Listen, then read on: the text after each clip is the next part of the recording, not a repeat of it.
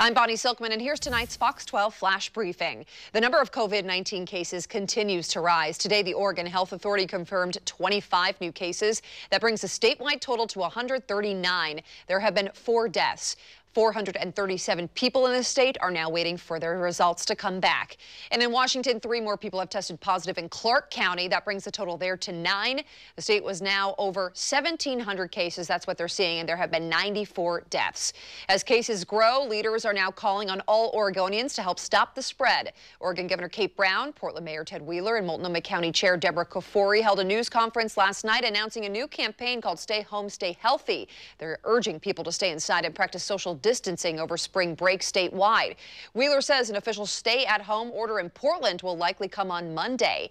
That order would mean making major changes to the way we interact, from avoiding packed parks to crowded trails. Today, though, we did see a lot of people in the gorge and at places like Vista House and Multnomah Falls. Many say they're not concerned because they're outside. We also saw a lack of social distancing with how many people were on those narrow trails. Now here's Brian McMillan with a look at our weather. We have one more nice day before things really cool off when we bring back the rain. So tomorrow expect sunshine in the morning, clouds in the afternoon, highs close to 61, and the showers return on Monday.